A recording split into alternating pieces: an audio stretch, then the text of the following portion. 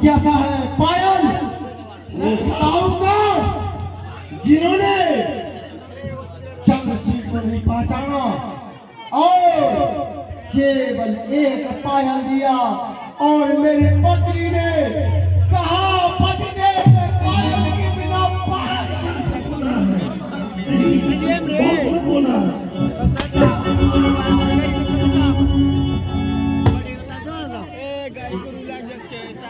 अब